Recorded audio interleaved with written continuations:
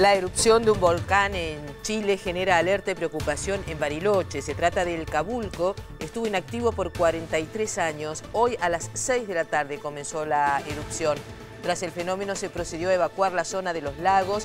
En Bariloche se reúne un comité de emergencia para evaluar la situación. Digamos que las autoridades dijeron que este volcán constituye una alta amenaza para la población en una zona que se encuentra a 100 kilómetros justamente de San Carlos de Bariloche. Bueno, el tiempo está Gabriela Andrietti. ¿Qué va a pasar? Esto lo sabe todo, Gaby. A ver, Gaby. Bienvenida.